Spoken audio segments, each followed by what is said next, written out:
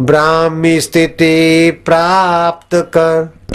कार्य रहे ना शेष गुरुवर। कार्य रहे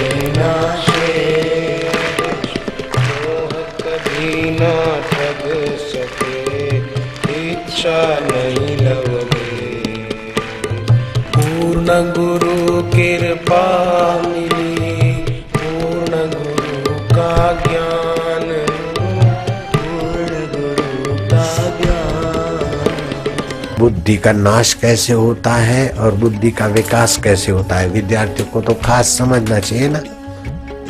बुद्धि बढ़ाने के चार तरीके अकल मारी गई, पता ही नहीं कि क्या किस वक्त क्या करना चाहिए। Work while you work play while you play that is the to be happy and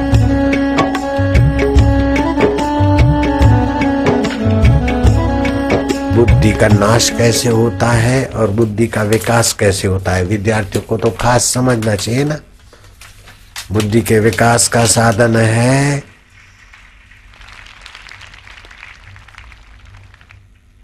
बुद्धि नष्ट कैसे होती? है बुद्धि शोके न नश्यति। बुद्धि शोके न नश्यति। भूतकाल की बातें याद करके ऐसा नहीं हुआ, ऐसा नहीं हुआ, वैसा नहीं हुआ, ऐसा करके चिंतन, चिंता करते न बुद्धि नाश होती। और मैं ऐसा करके ऐसा बढ़ूँगा ऐसा बनूँगा, ऐसा बढ़ूँगा ये चिंतन तो बुद्धि नाश तो नहीं करता, लेकिन बुद्धि को भ्रमित कर देता और मैं कौन हूँ? सुख दुख को देखने वाला कौन? बचपन बीत गया, फिर भी जो नहीं बीता वो कौन? जुआनी बदल रही है, दिन सुख बदल रहा है, दुख बदल रहा है, सब बदल रहा है, उसको जानने वाला मैं कौन हूँ? प्रभु, मुझे बताओ तो भगवान के नाम का जप, शास्त्र का पठन और थोड़ा अपने को खोजना। बुद्धि ऐसी बढ़ेगी ऐसी बढ़ेगी कि दुनिया में प्रसिद्ध बुद्धिमान भी उसके चरणों में सिर झुकाए। रमन महर्षि के पास पॉल बेंटन कैसा सिर झुकाता? रमन महर्षि तो आठवीं पढ़े थे। कितनी बुद्धि बढ़ी कि मोरारजी भाई देसाई कहते, मैं प्रधानमंत्री बना, तब भी मुझे उतना शांति नहीं मिला, जित, उतना सुख नहीं मिला, जितना रमन महर्षि के चरणों में बैठने से मुझे मिला। मोरारजी भाई देसाई ने बोला तो कितनी बुद्धि बढ़ती बोलो प्रधानमंत्री पर भी कृपा करने की बुद्धि रमन महर्षि की। रमन महर्षि कैसे महर्षि बने के सोचते थे कि मैं कौन हूँ? सुख दुख आता जाता है, उसको जानने वाला मैं कौन? हरि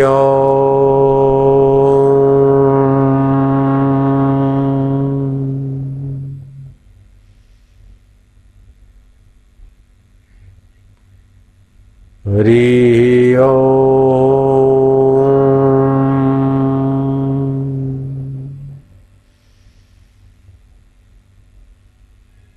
अभी बारह बजे का समय है। संध्या का समय जप करने से, ध्यान करने से बुद्धि का विकास होता है। जरा जरा बात में दुखी काय कौन है? जरा जरा बात में प्रभावित काय कौन है? ये मिल गया, ये मिल गया, क्या है? मिल गया तो क्या है? ज़्यादा सुखी होना, ज़्यादा दुखी होना ये कम बुद्धि वाले का काम है। जैसे बच्चे की कम बुद्धि होती तो जरा सा चॉकलेट में, जरा सा चीज़ में खुश हो जाता है। जरा सी चीज़ हटी तो दुखी हो जाता। है लेकिन जब बड़ा होता है तो चार आने के चॉकलेट आए तो क्या गया तो क्या? ऐसे संसार के जरा जरा सुविधा में जो अपने को भागशाली मानता है, उसकी बुद्धि विकास नहीं होता।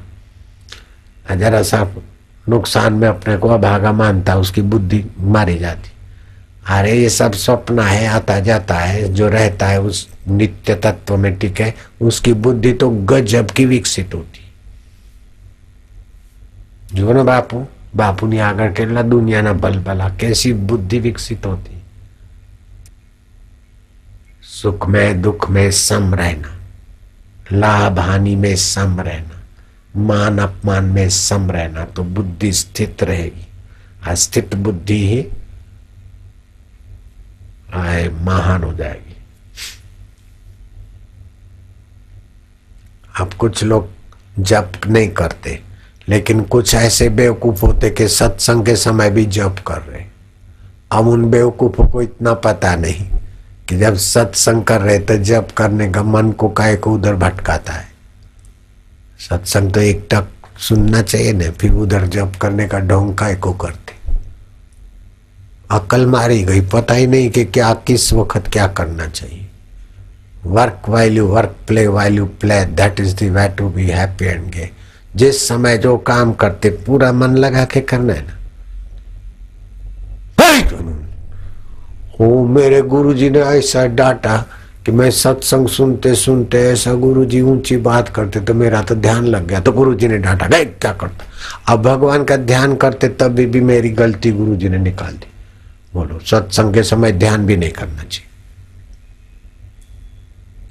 अब ध्यान तो लगता नहीं, और माला लेके बैठ गए। बापू का सत्संग और माला घुमा रहे थे। जा फिर जा, माला की जगह पे जाओ। इधर कह को बैठा है।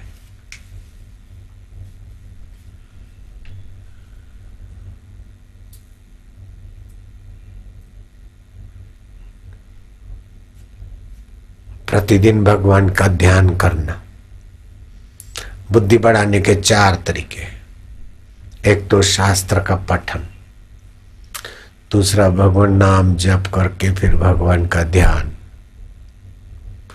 तीसरा, पवित्र स्थानों की यात्रा। और चौथा, परमात्मा को पाए हुए महापुरुषों का संपर्क। इस चार से तो गजब की बुद्धि बढ़ती। और बुद्धि नष्ट कैसे होती?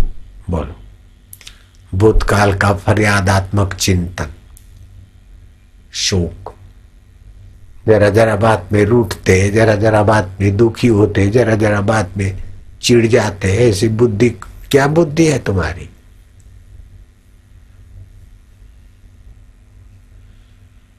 तो सुबह उठे, नींद में से थोड़ी देर चुप बैठे। आज मैं कभी भी फरियाद का चिंतन नहीं करूँगा, अपने मन को दृढ़ रखूँगा। क्योंकि मन की गहराई में मेरे भगवान है। भगवान सदा एक रस दृढ़ है तो मन दृढ़ होगा तो भगवान की सत्ता है। मेरी बुद्धि को दृढ़ करूँगा। बुरी संगति नहीं करता मैं। बुरे विचारों में नहीं गिरूँगा। क्योंकि मैं भगवान का हूँ, भगवान मेरे हैं। प्रभु, आप मेरे हैं ना?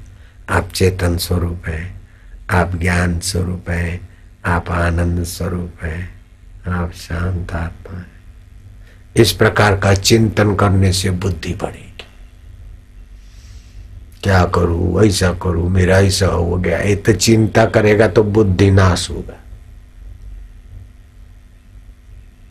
फिर जो पढ़ा है अथवा जो पढ़ना है, उसका थोड़ा चिंतन कर। तो चिंतन से तो बुद्धि का विकास होता है और चिंता से बुद्धि का विनाश होता है। सूर्य नारायण को अर्घ्य देना, भगवान के नाम का जप करना, भगवान को एक टक देखते देखते फिर यहाँ देखना बुद्धि का विकास होता है।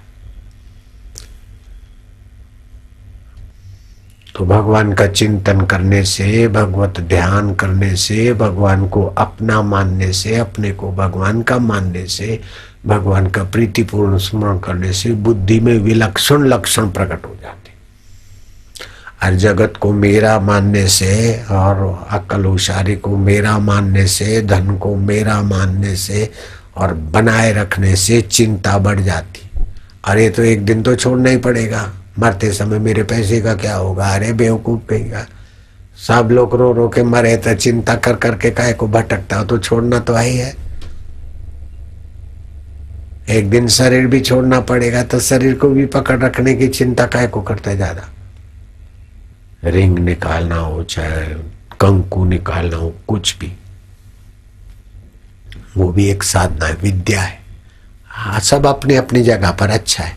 लेकिन आत्मा परमात्मा को पाने की विद्या के आगे सब छोटी विद्या है। जैसा ज्ञानेश्वर ने आत्मविद्या पाई ना। हाँ। भगवान राम ने श्री कृष्ण ने जो आत्मविद्या दिया और पाया, वो सबसे ऊँची विद्या है। तो हम तो उसी में लगे। ये सब नहीं किया। कैसे होता है बताओ क्या तुमको? ऐसे यूँ करो और वो चीज़ हाथ में आ जाए तुम्हारे, बोलो। उसके लिए साधना करनी पड़ती। मानसिक शक्तियाँ विकसित करनी पड़ती। आत्मविद्या सबसे बड़ी विद्या है, जो अर्जुन को श्री कृष्ण ने दिया था। और भगवान राम ने हनुमान को दिया था। और समर्थ रामदास ने शिवाजी को दिया था। वो ज मैं तुमको आत्मविद्या देना चाहता हूँ। मरने के बाद नहीं, वर्तमान में ही दुख मिटा देवे। रोग मिटा देवे, शोक मिटा देवे, चिंता मिटा देवे, भय मिटा देवे और अपनी अमरता का अनुभव करा दे वह आत्मविद्या है। सा विद्या या विमुक्त है। विद्या वही जो बंधनों से, दुखों से, अज्ञानता से मुक्त कर दे। वह विद्या। इसीलिए हम ध्यान योग शिविर करते ताकि खास खास साधकों को थोड़ा ध्यान कराए। उनको चस्का लगे तो उस विद्या को पाने के लिए मज़बूत हो जाएँगे तो हो जाएँगे पार। हमको अगर आत्म आत्म साक्षात्कार गुरु जी की कृपा से नहीं होता तो हम तो शक्कर की दुकान पे बैठते थे, चिंता तो होती लेकिन अभी तो एक दुकान में तो चिंता होती थी, अभी हमारी सत्रह हज़ार दुकान है, कोई चिंता नहीं। सत्रह हज़ार दुकान है मेरी, बाल संस्कार केंद्र। और बारह सौ समिति, सत्रह हज़ार और बारह सौ। और फिर दूसरे आश्रम, कितनी गौशाला, कितने सत्संग, चिंता नहीं होती। आत्मराज पा लिया तो बाहर का राज में तो कुछ भी नहीं आसक्ति नहीं। परित के लिए क्या फ़र्क पड़ता है? अपने लिए करते आसक्ति तभी चिंता होती, दुख होता है। अपने को जो चाहिए, वो तो हम हैं, उसको तो मौत का बाप भी नहीं छीन सकता है। और जिसको संभाल नहीं सकते, उसको किसी भी प्रकार से तो छोड़ना ही है तो फिर काय को उसमें आसक्ति करो? जो अपने को चाहिए, वो तो अपन है। हमारा आत्मा चैतन्य। और जो मर जाने वाला है, उसको तो कोई सदा रख भी नहीं सकता। है फिर काय को डरना काय को आसक्ति करना? धर्म के अनुसार व्यवहार हो, बाकी डरना काय को? अपने को चाहिए सत्य चित्त, आनंद, आत्मा, परमात्मा। और वो तो आत्मा, परमात्मा जाने वाला नहीं है। मौत भी उसको थोड़ी मारती, मौत तो असत जड़ दुख रूप शरीर को मारेगी। ब्राह्मी स्थिति प्राप्त कर, कार्य रहे ना शेष गुरुवर। कार्य रहे ना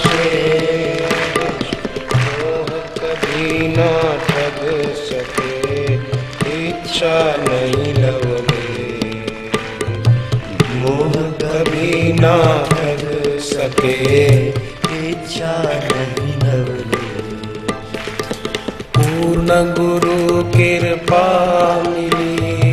पूर्ण गुरु का ज्ञान।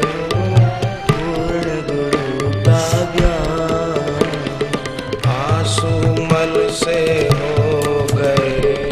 साई आशा। आसाराम आसुमल से हो